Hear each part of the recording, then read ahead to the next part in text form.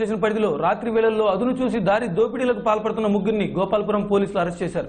నిందితులిద్దరూ దోపిడీలకు పాల్పడుతున్నారని గోపాల్పురం ఏసీపీ శ్రీనివాసరావు తెలిపారు. నిందితుల వద్ద నుంచి ఓ ద్విచక్ర వాహనంతో పాటు నగదు స్వాధీనం చేసుకున్నట్లు వెల్లడించారు.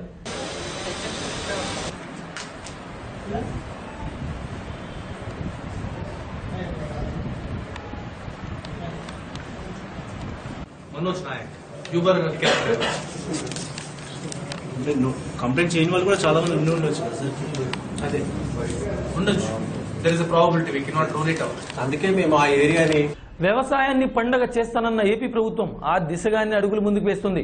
పంట దిగుబడులను పెంచి రైతన్నకు అండగా నిలిచేందుకు సూక్ష్మ పోషకాలకు ఉచితంగా అందించాలని సీఎం చంద్రబాబు నిర్ణయించారు. వ్యవసాయ నీటి